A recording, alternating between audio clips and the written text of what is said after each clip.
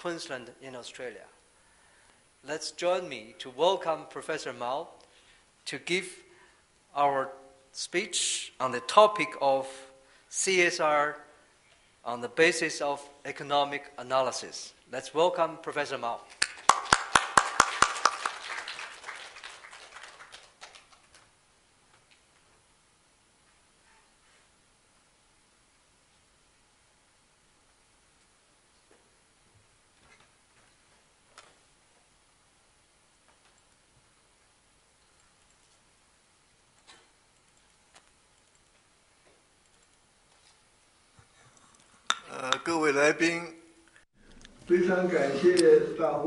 Distinguished guests, good morning. I'd like to say thank you to organizer for such opportunity. I will be talking about what is social responsible cooperate.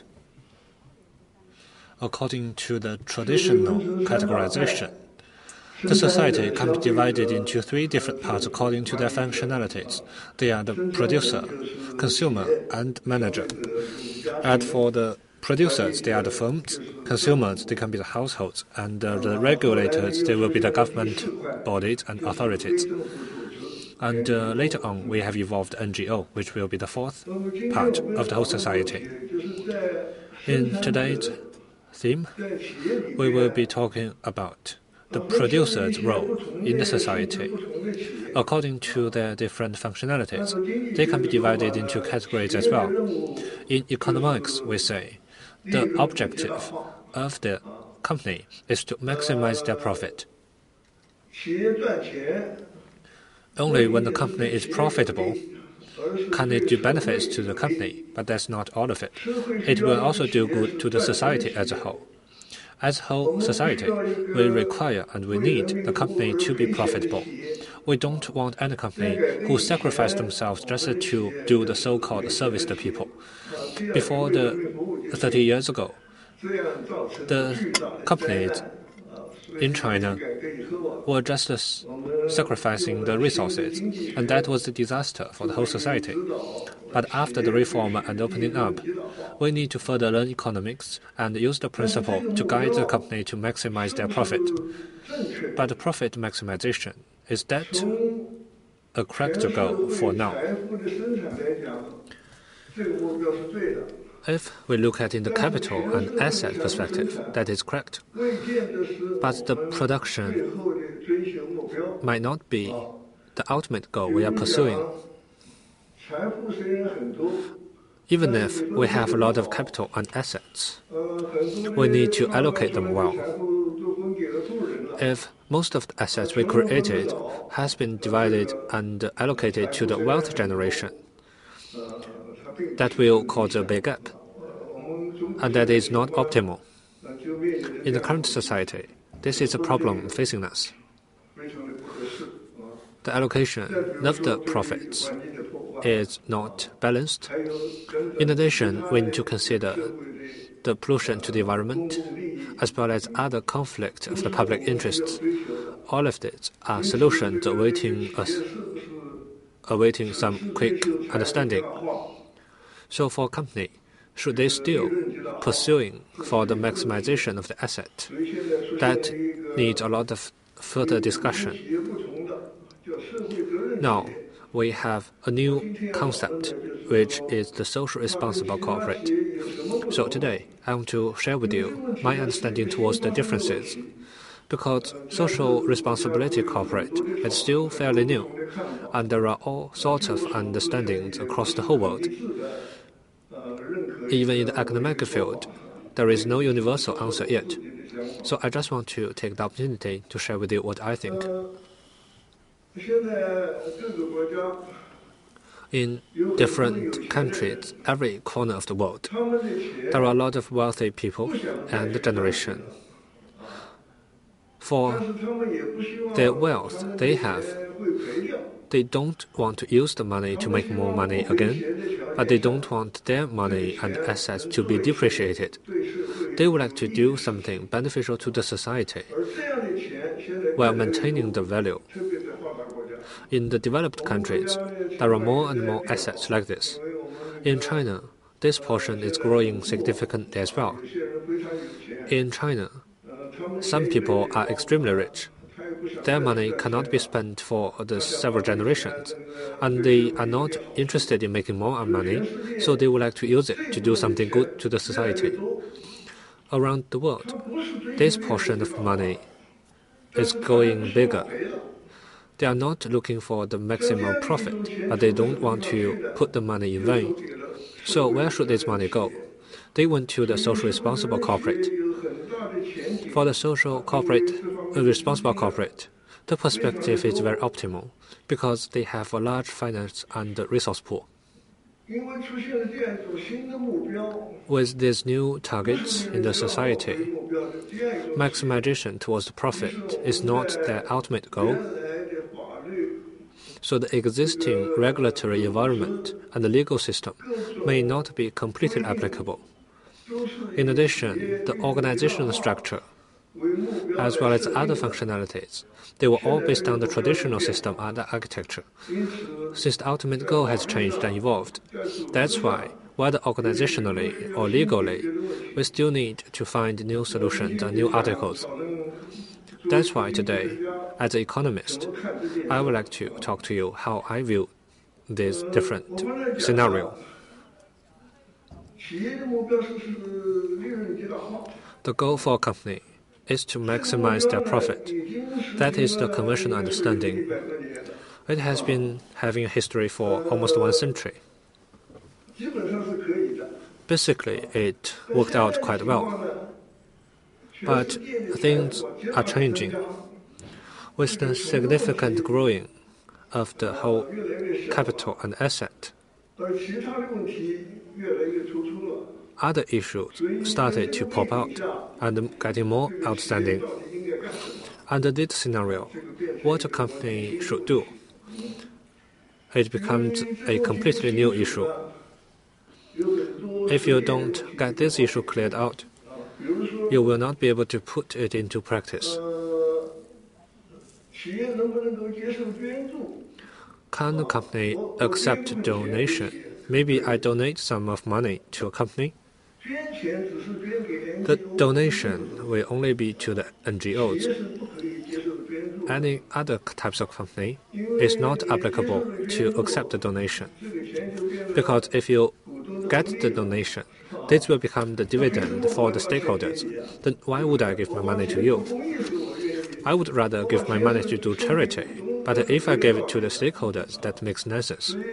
So for the charity organization, for the NGOs, it is okay for them to accept it because they don't have any product to sell. All of that revenue are sourced from the donation. But as a usual functional company, they have uh, products to make, to sell, so they should not be able to take the donation. But for the social corporate, are they applicable for accepting donations?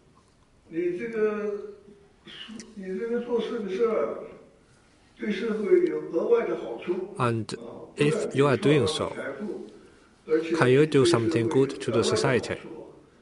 Can you provide some value added benefits to the society?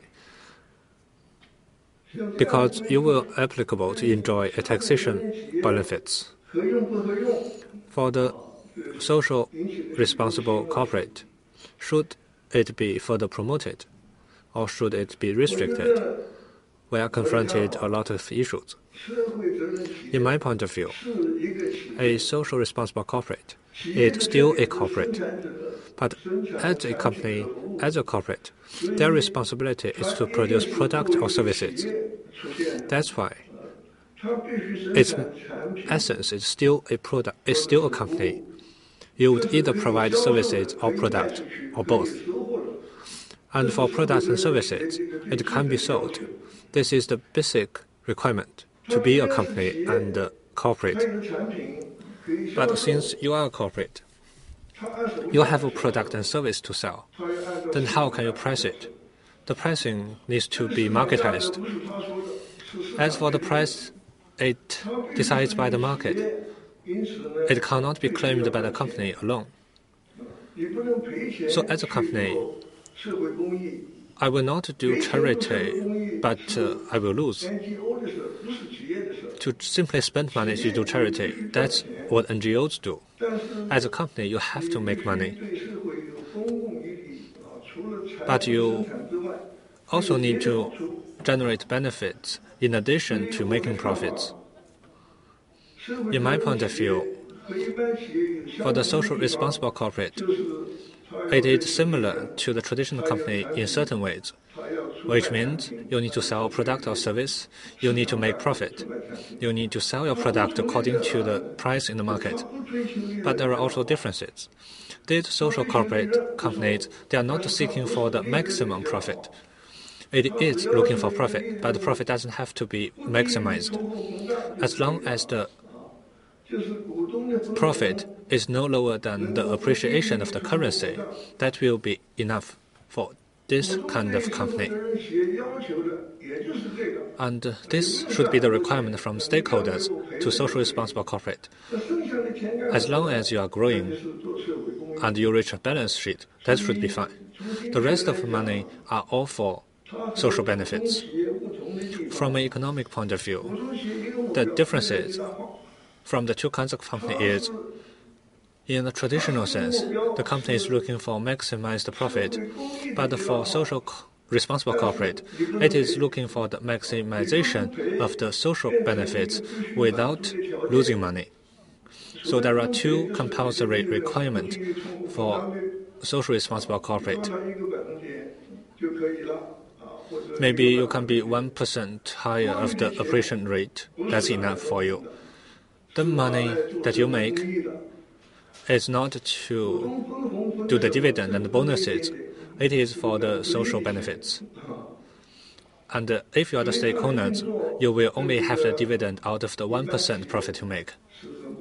So the positioning of social responsible corporate is very different than the traditional company.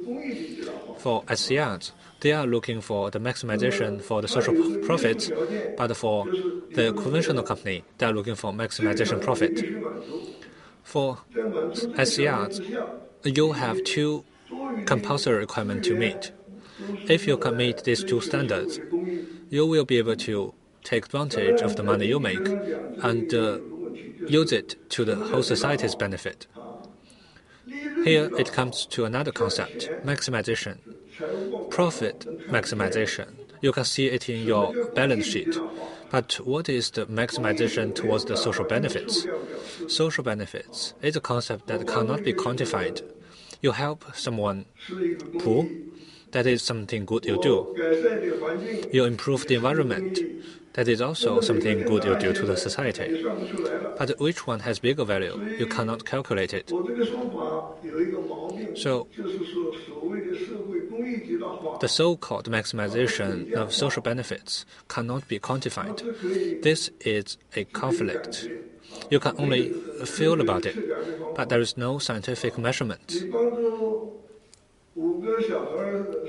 You help five kids to go to school in comparison to you help 10 people to get employed. Which one has more value? It's very hard to define. A lot of problems cannot be quantified or cannot be measured. So, this is something tough we should think over. But that's not only about social corporate all of the NGOs had similar problems. We want to go do things, but you need to have a measurement framework. Many NGOs, they cannot do what they claim to do. They can only tell good stories. For example, how good I am. And you give the organization the money. But we don't have a scientific principle yet to value them.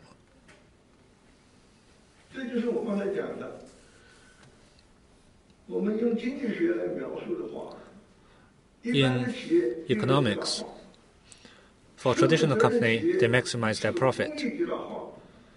For socially responsible corporate, they maximize their social benefits under the prerequisite that you should not lose money. This is how we define SRC in an economic point of view. So, which kind of company can be divided as SRC?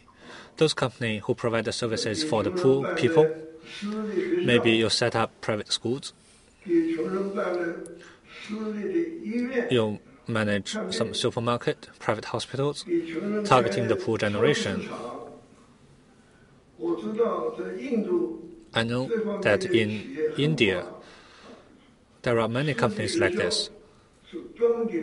For the private companies, they are specifically defined for the poor people.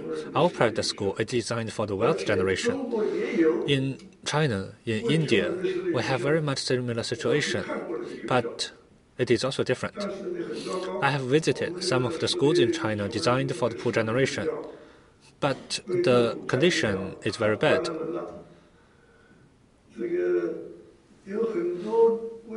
They cannot survive that longer in China market. Some of the hospitals were designed for the poor generation. We don't have it in China, but I have saw some in India.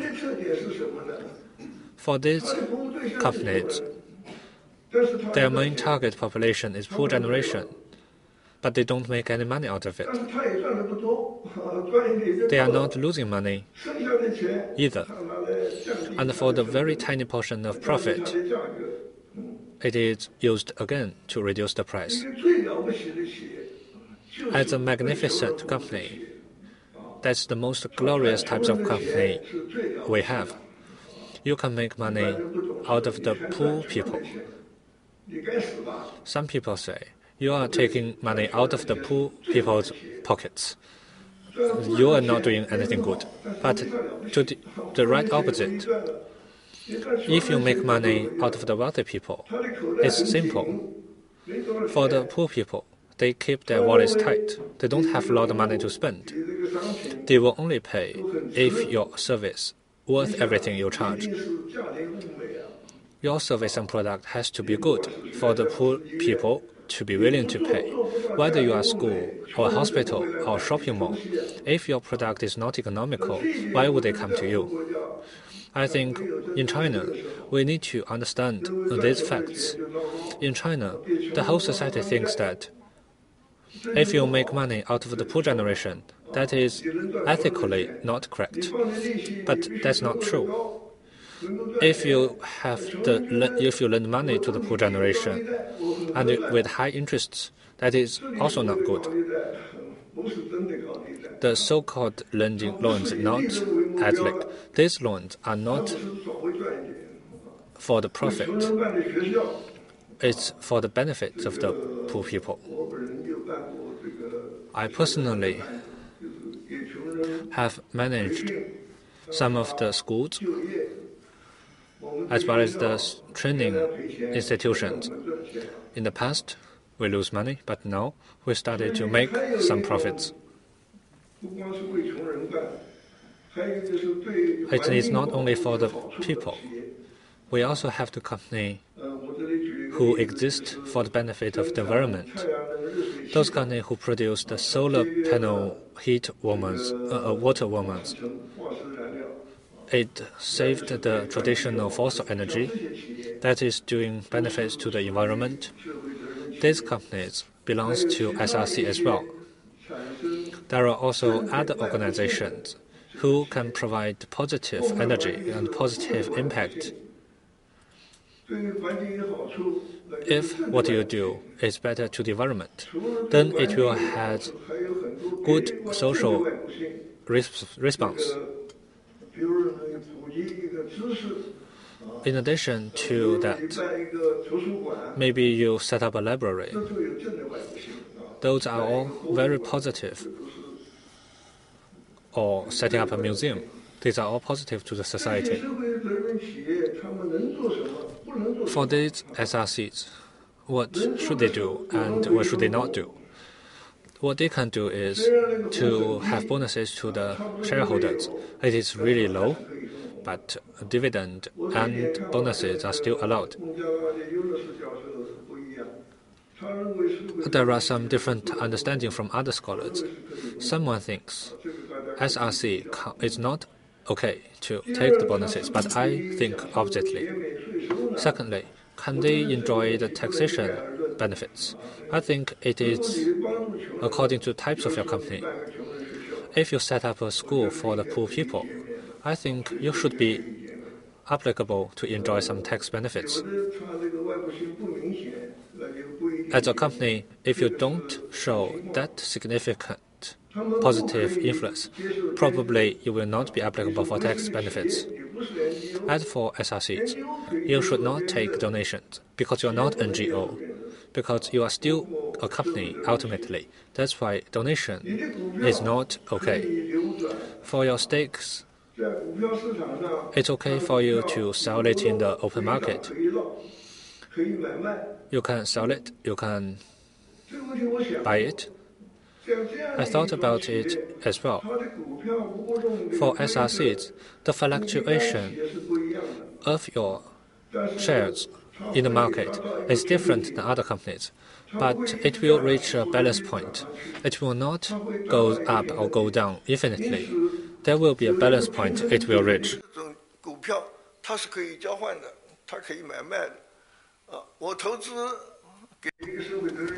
And if I invest in a SRC, if I want to exit, I can sell the stocks.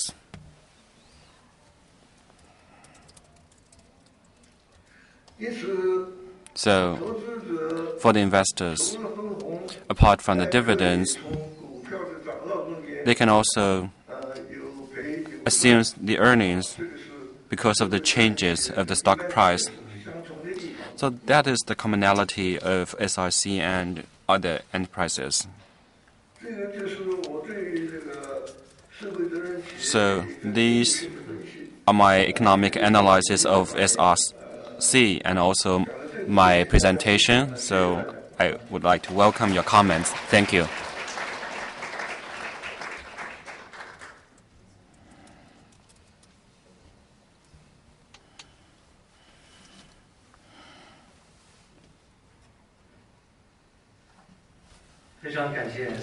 Thanks very much to Professor Mao.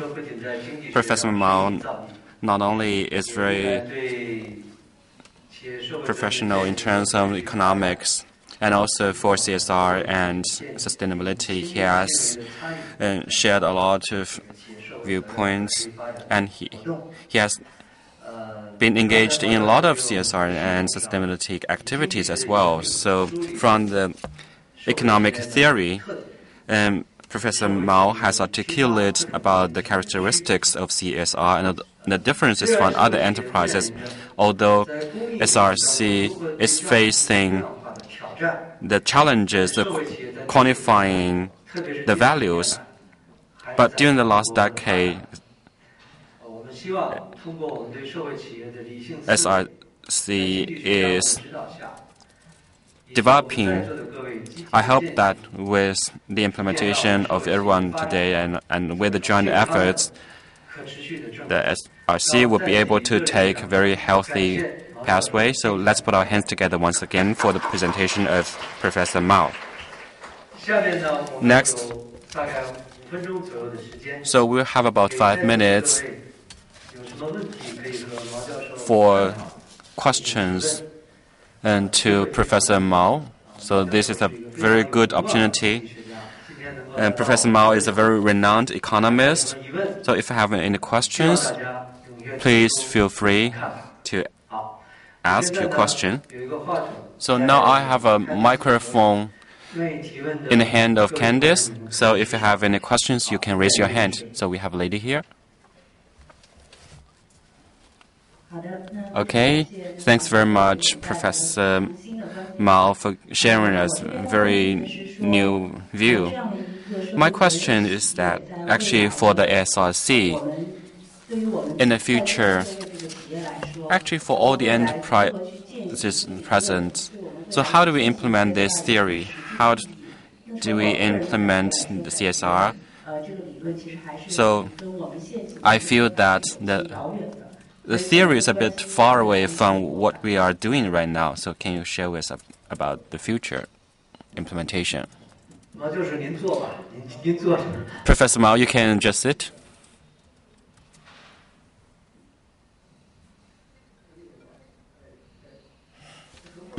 I'm very sorry. So I cannot hear it very clearly. Actually, for this question about the SRC, what kind of opportunity will it bring to entrepreneurs? I think this is a completely different trend. Actually, some entrepreneurs will just pursue for maximum profits. And for general entrepreneurs, uh, the profits are their goal. So they're just looking at how much money you make.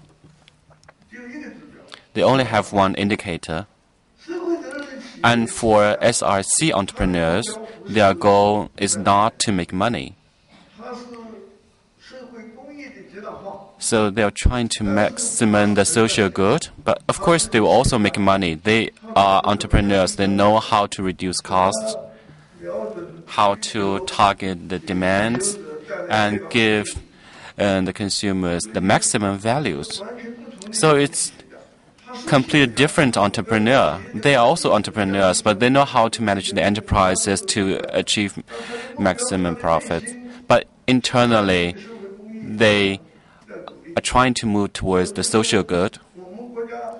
So in China, we already have such entrepreneurs emerging. I have a very good friend who is called Shen Dongshu.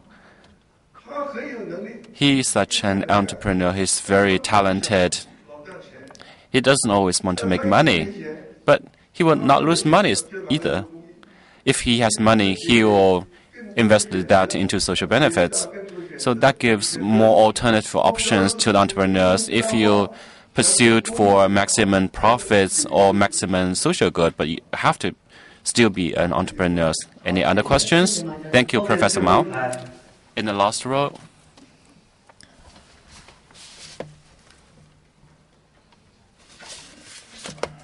Uh, thank you, Professor Mao. My question is, uh, how do you view corporate foundations that um, are looking into creating social benefits and that live side by side with a corporation that obviously um, is looking into maximization of profits.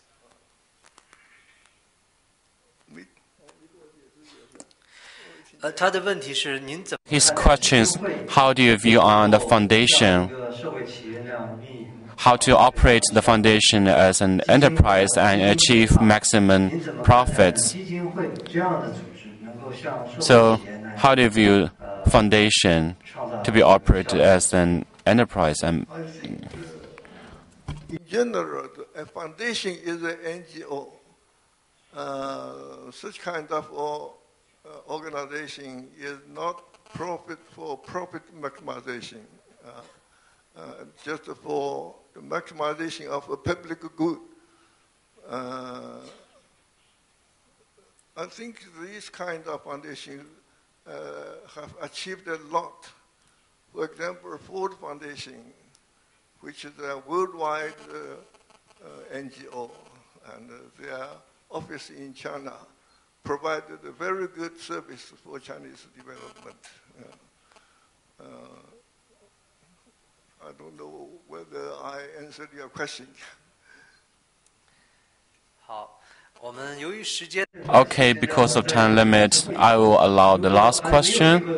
If you haven't had any opportunity, you can also ask questions to Professor Mao during break. Um, Professor Mao, uh, I have a question about China's environmental NGO. Normally, they started from grassroots as an NGO. During the last two to three years in China's environmental study, so we look a lot upon the transformation of the NGO. Actually, a lot of organizations that are no longer at the grassroots, but I think most of them are doing more uh, like very high-end things, but for intervention of the society or pay attention to the grassroots are actually disappearing among the NGOs. So for NGOs, for how do you look upon that transformation of social responsibility? Actually, I cannot hear it very well. I think for NGO, it's completely different from enterprises. Their products cannot be sold. For example, charity. how do you make sell the charity? You will not get any revenue. So you can only rely on donations. So this is the biggest difference of NGO.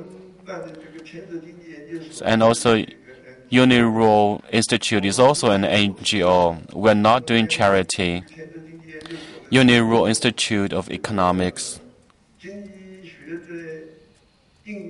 is, is doing researches about economic policies, case studies. If we want to sell, will sell it to Premier Li. But he hasn't asked to buy anything from us yet. But it's so all our results are provided free of charge to the society. So we are an NGO. Our income is mostly based on donation domestically and internationally. So I think our institute has gone through over 20 years for Chinese economic reform. We have provided some proposals. I think we are playing some role in China's reform.